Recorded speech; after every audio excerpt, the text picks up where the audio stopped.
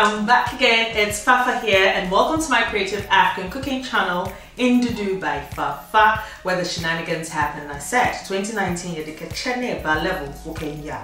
Wa pick condensed milk toffee, caramel toffee. It's gonna be chewy, it's gonna be medium, it's just gonna be so Ndudu by Fafa. Stay tuned. Now, if this is your first time, you welcome. Mm -hmm.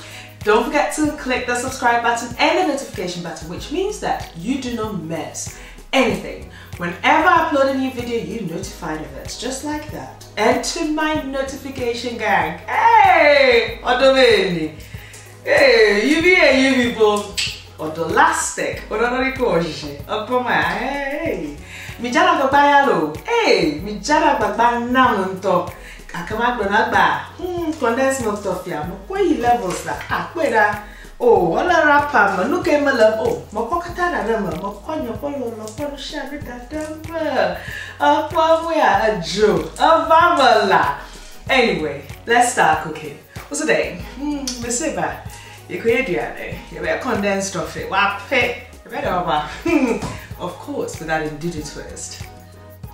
So I'm going to start by melting some coconut oil um, in my saucepan. You can use butter if you wish, but I like that coconutty flavor when I'm making my condensed milk toffee.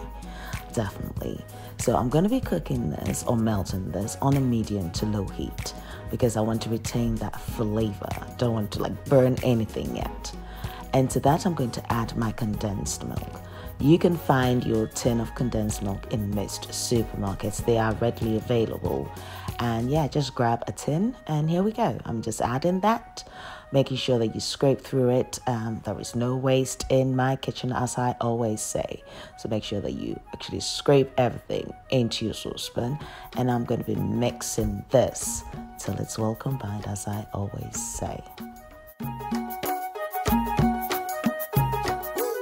Now, it's imperative that you do use a heavy bottomed saucepan and also that you do add some grease to this. This will prevent the mixture from sticking to the bottom of your pan. And of course, you do need to constantly stir this mixture and maintain a medium heat. What you're trying to do is get the moisture to evaporate from the mixture so that it can caramelize. And what that means is you end up with your beautiful toffee. I would also talk you through how to get that chewy texture or equally that hard wape texture as well.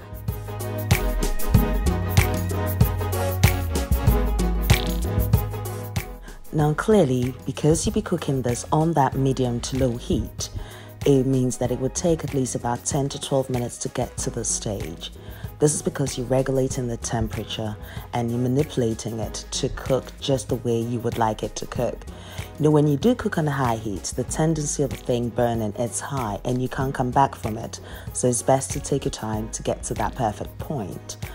Now, the next thing I'm going to add to this is the juice of a lemon. I'm going to add just about a teaspoonful. Now, when you do get your lemons, it's best to get your unwaxed organic lemon because that's the best, I would say. Um, but in the unlikely event you can afford to get the organic, just make sure it's unwaxed. Um, yeah, because with the waxed one, it has all chemicals around the skin and stuff, and you just definitely don't want that at all. Now, the best way to get the juice out of your lemon is to massage it and once you do that, it's so easy because you cut that in half. And when you just squeeze it with just a little pressure, you can see the juice coming through. So as I mentioned, I'm going to add just about half a teaspoonful of that to my mixture. Now, because the condensed milk is rather sweet, what the juice of the lemon does is it balances that flavor. You can add salt, but I prefer to use the juice of a lemon to it. So yet again, I'm maintaining that medium heat to now cook this. And as you can tell, it's actually getting thicker now. The moisture is evaporating. So at this point, it's going to start caramelizing. Now, this is where you need to be staring for like Mother Ghana. Did I just say that? Yes. Because immediately starts to brown. It takes less than a minute um, and then it browns. And at that point, you know, it is hot. So please do take all necessary precautions when you're dealing with it. Now it's good that I'm using this spatula um, because it helps as well, but equally you can use your wooden spoon, it's not a problem. And so, yeah, just within a minute, it's browning, and I now know that I need to get my chopping board ready. What I've done is I've greased my chopping board with some coconut oil as well.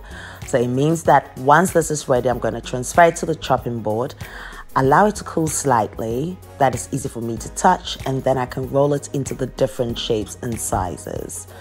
Now, the length of this video is it's quite long and I just want to shorten it.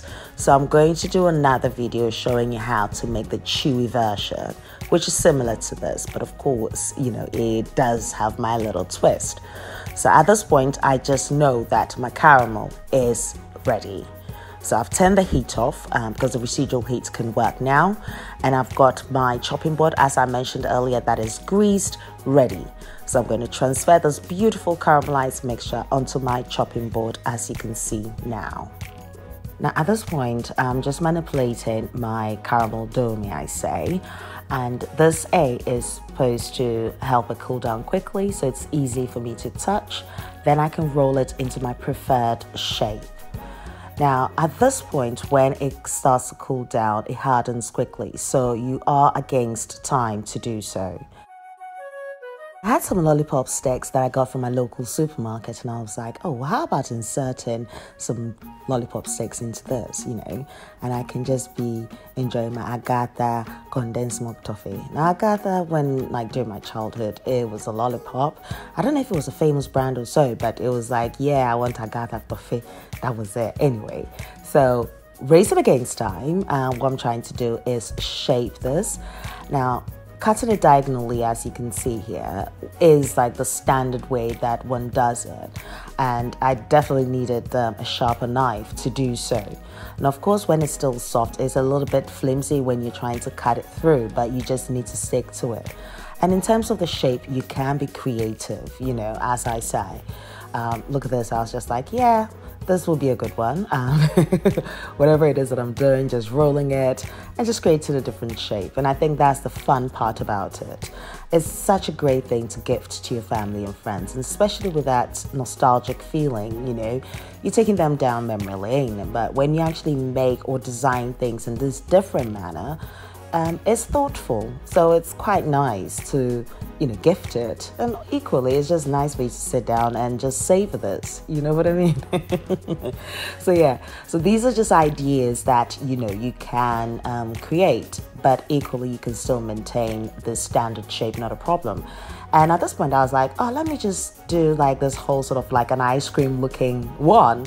And I just rolled it and just twisted it. And yeah, I ended up with it. You see, it's fun. You know what I mean? Guess who's gonna have that one?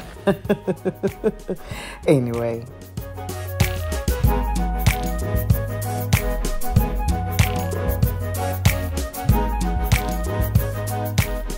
This is a candy that your kids definitely will enjoy. However, it's not a child friendly process because you are manipulating with heat. So, most definitely do not involve them when you're making it.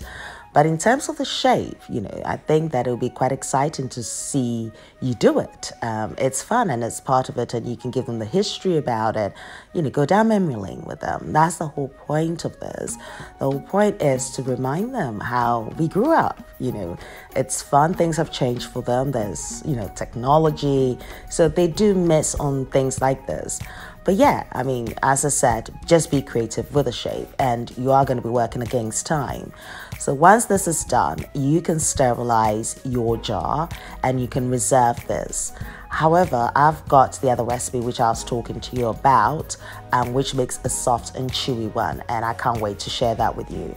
I mean, this thumbnail one, that's just like, you know what I mean? It's it's just. Uh, when I always say this is not any other food, this is not any other food. This is Ndudu by Fafa Kitchen Yediaba 2019 condensed milk and social eh kechengo ahụ kpera ee eh, ndudu by fafa menye ya. Condensed milk omia we komia rode kaba kaba komia dua kpọnụ ka ọmalada akalaka na nyanya gabade ndudu by fafa e igbo ibina ba. Anamakwe to baale yake ndudu by fafa na ba. ihe condensed milk tofi na afi ole smooth na ba aro keke ba shape le fie kumo. Níbi ìfi náà ní àáfin. oh. Boyfriend noko i hope you are inspired to try this recipe definitely what was i saying i was just saying oh yeah simple condensed milk. Look how far I've taken it, like manipulating it and creating all these shapes and sizes. As I said, this is an inspirational video. You can omit it, you can just think outside the box and do whatever pleases you. That's the choice you have to make.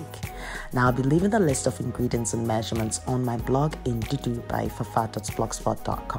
so do check it out. I'm also on Facebook, Instagram, Snapchat, and Twitter as Ndudu by fafa, so do pass by and say hi. Until next time, take care of you. Be nice, be beautiful, be your gorgeous self. Whatever you do, put your best foot forward. Do it for you, because when you do it for you, you have an aura an aura of success. Until next time, take care. We love you.